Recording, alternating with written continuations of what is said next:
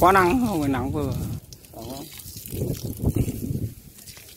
này mà nó đông mà ông chèo thuyền cái chèo thuyền hồ loanh quanh khoảng tiếng nó vào khéo cũng trương ấy nhỉ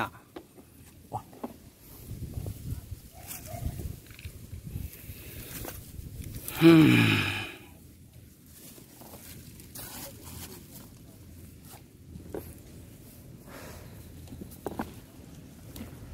à, con ốc ác kéo rồi anh chấm chép ngọn nhỉ?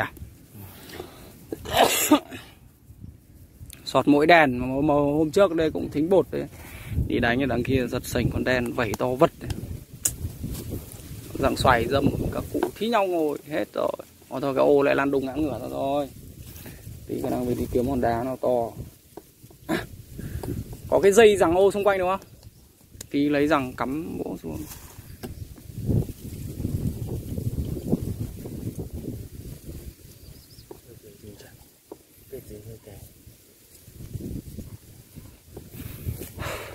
Không cần kết quá đâu mà can can làm sao thả xuống dưới nó tơi là vừa cũng được em ạ. Ừ.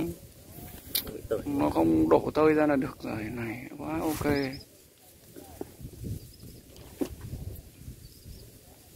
Cả ném tay mà chụp cục chuẩn cục chụp thì nhanh vào lắm nhở nó có khả năng đấy bây giờ chỉ có mỗi cái là cầm cục bi sắt 5 cân tập em ạ. Một tháng cứ ném vào một điểm. Đến lúc già mình cứ nắm ném may dài chuẩn. Bi sắt 5 cân nặng lắm ném chỉ được 5 mét hơn 5 mét là cùng. Thế thì uh, căn cái cục thính nó khoảng 3 lạng một cục đúng không? Được không? Để đập viên gạch lục ra làm đôi. Viên gạch lục ờ, làm đôi ra đập ném.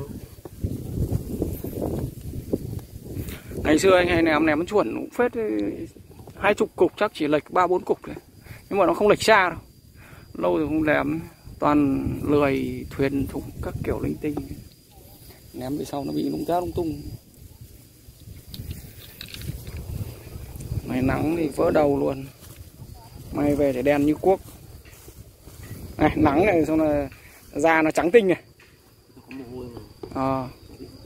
tầm này là nó đang bự này cũng gần rồi.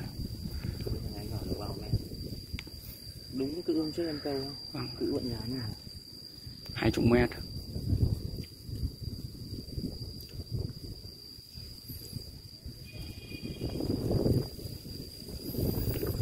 Hai chục mét. Bánh xa bờ hai chục mét. Ui nàng có hoa hết cả mắt. Sao quá